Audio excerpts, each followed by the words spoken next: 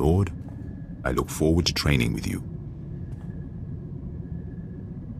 Welcome aboard, apprentice. This ship is your home. These roustabouts, your companions. Yes, Lord. I don't suppose Harkun has bothered to teach you anything useful, like the Sith Code. Kill or be killed. An interesting way of putting it. That will do. Command me, and I will strike, my lord. Lord, you are a great warrior. You're not so bad yourself. Thank you, Lord. How can I serve you? How did you come to be a slave? I was taken in battle.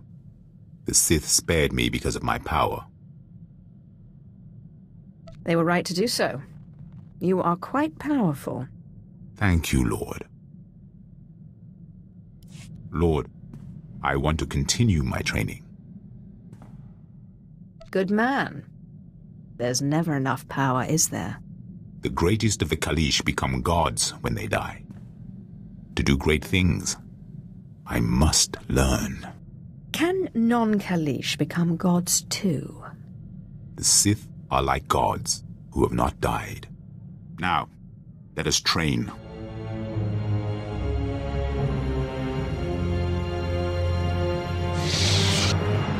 Thank you, Master. Lord, how can I serve you?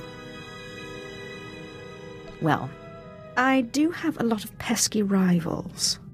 Yes, Lord.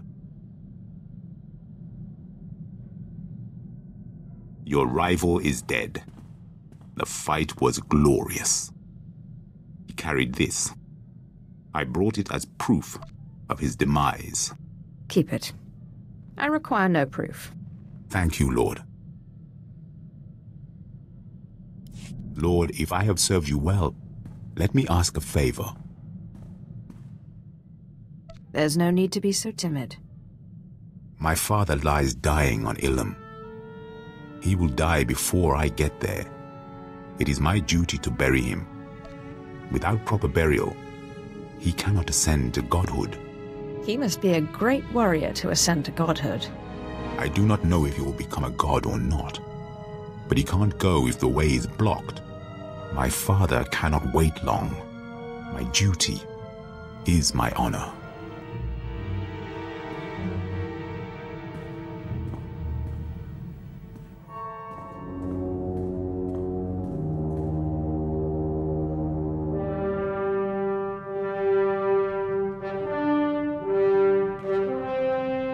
My father is gone. He was the last of my family. I follow you now. We have far more important work to do, and I can't have you distracted. As you say, my lord. My lord, you are as a living god.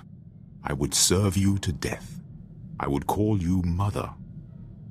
I would guard your legacy. That would be an honor. Thank you, Lord.